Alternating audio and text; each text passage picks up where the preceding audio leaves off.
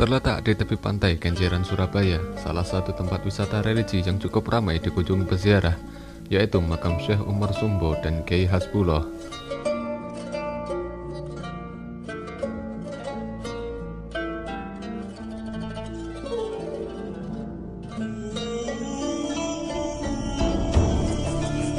Tak banyak catatan yang menerangkan akan kisah dan sejarah dari Syekh Umar Sumbo.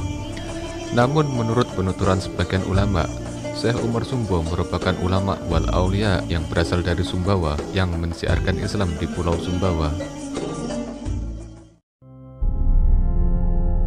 Suatu hari beliau hendak melakukan perjalanan ke Pulau Jawa, namun sayang perahu yang ditumpanginya tenggelam di tengah lautan dan beliau pun wafat serta jasadnya pun terapung di lautan berhari-hari hingga sebagian tubuhnya hilang.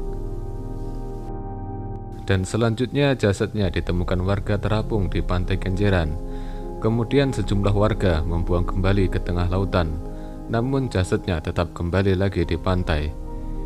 Dan kegiatan tersebut pun terus dilakukan berulang-ulang hingga tiga kali.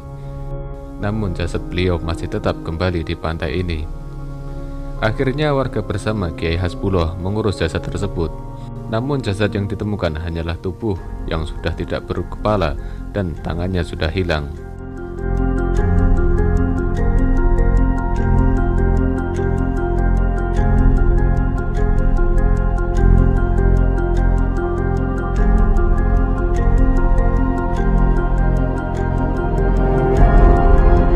Setelah warga selesai memandikan, secara ajaib kepala dan tangan dari jasad tersebut akhirnya ditemukan terapung di tepi pantai, dan selanjutnya jasadnya disemayamkan di tempat ini.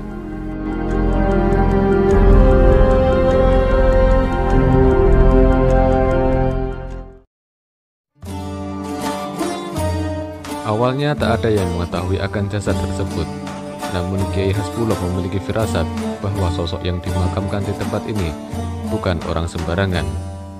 Dan di malam hari makam dari Syekh Umar ini mengeluarkan sinar yang sangat terang. Dan saat itulah Kiai Hasbullah yakin bila beliau tak hanya orang soleh, melainkan waliullah yang mulia. Dan Kiai Hasbullah ini pun merupakan ulama wal aulia yang berdakwah di tempat ini.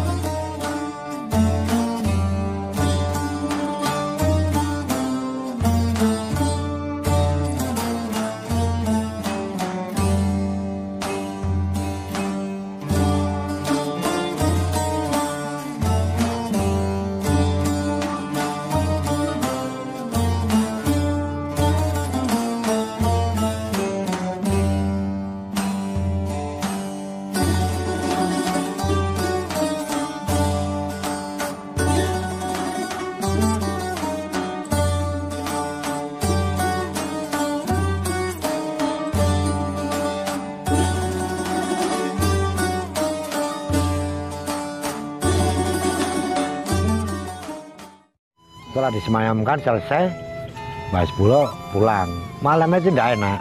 Kok tidak bisa tidur. Akhirnya nengok ke makamnya. Hmm. nah, nengok ke makamnya mengeluarkan cahaya.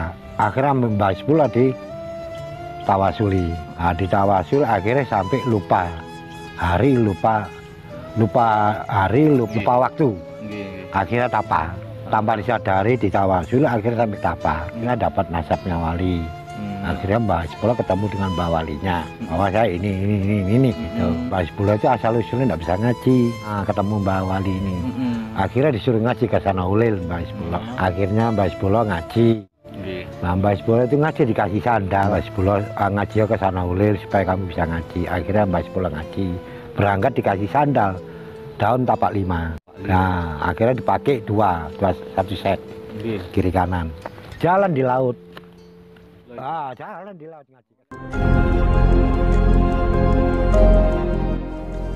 Dan hampir setiap hari tempat ini pun selalu ramai dikunjungi para peziarah, tak hanya dari Surabaya, tapi dari berbagai penjuru daerah juga turut berziarah di tempat ini.